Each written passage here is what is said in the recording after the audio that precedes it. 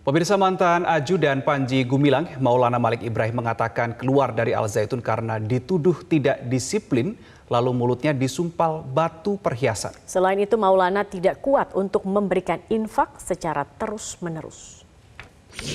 Tugas saya tidak uh, tidak apa ya disiplin, indisiplin. Hmm, oke. Okay.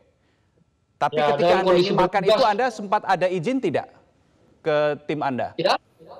Oh, saya izin sebetulnya saya Izin, izin, ya? sama rekan-rekan saya izin. Jadi Hmm. saya mau makan dulu karena kondisi saya perut saya sakit. Jadi saya minta makan ke ke dapur, ke dapur umum itu. Oke, kemudian dilaporkan oleh kepala dapur ke Panji Gumilang, lalu apa yang terjadi?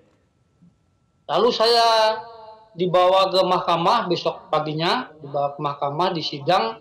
Jadi waktu itu saya berdiri, saya disuruh mangap, saya disumpalin, di situ ada batu, batu perhiasan itu saya disumpalin. Nah, setelah itu saya dijatuhi hukuman, saya disuruh membelikan membersihkan teletong selama enam bulan di sana. Di sana ada peternakan, di sana ada peternakan eh, sapi di sana itu. Hmm, oke, berarti hukuman Anda tidak hanya sebatas yang dilakukan Anda di Mohon maaf Pak, tadi Anda dimasukin apa? Dimasukin batu, Pak, batu hiasan itu, Batu. batu hiasan mulut saya.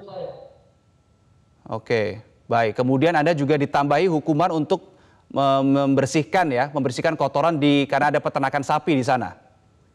Ya betul betul. Kejadian ini kah yang kemudian membuat Anda memutuskan untuk keluar atau selesai sebagai pengawal Panji Gumilang?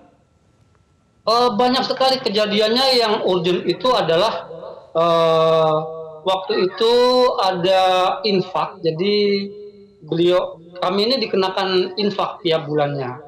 Jadi karena beliau tidak berinfak, nah itu yang menjadi alasan kuat. Jadi kami disuruh bubar oleh eh, komandan kami, yakni Pak Muhammad Yasir waktu itu yang menjadi komandannya. Muhammad Yasir kami disuruh bubar, membubarkan diri. Semua tip marah membubarkan diri. Membubarkan diri dalam artian tidak lagi menjadi pengawal Panji Oh. Gumilang. Ya, tidak tidak lagi menjadi Panji Gumilang. Kami pulang pulang ke rumah masing-masing. Ke